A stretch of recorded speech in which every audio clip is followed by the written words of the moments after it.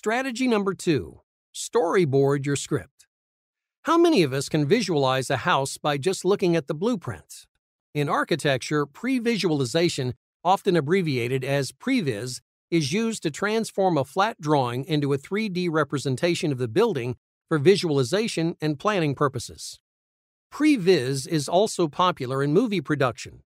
Storyboarding is a form of previs used to sequentially illustrate how the script will be shown throughout the video.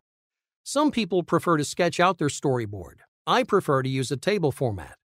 Regardless of your preferred storyboard format, it should indicate who, what, when, where, and how each multimedia will appear in your video.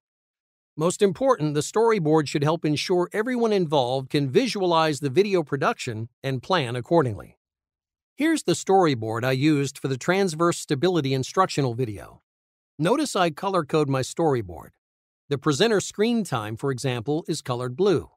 If the presenter would have been on screen several times, I would have recorded all her screen times in one session and the off screen times would have been recorded as voiceover. Keep in mind, videos are seldom recorded linearly, hence, the storyboard helps plan nonlinear recordings. In the editing phase, the videos can be seamlessly spliced together to follow the script.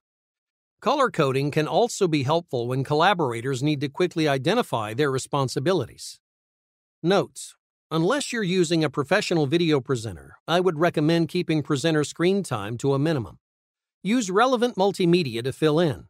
This practice can help save time by reducing the number of retakes required.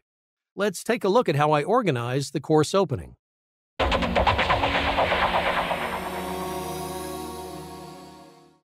Stability is the tendency of a vessel to return to her upright position when disturbed by wind and waves.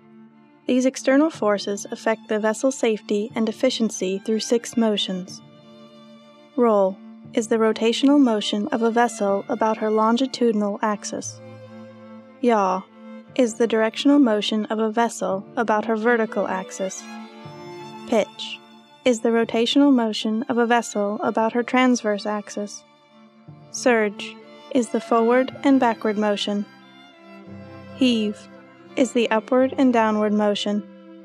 Sway is the sideward motion.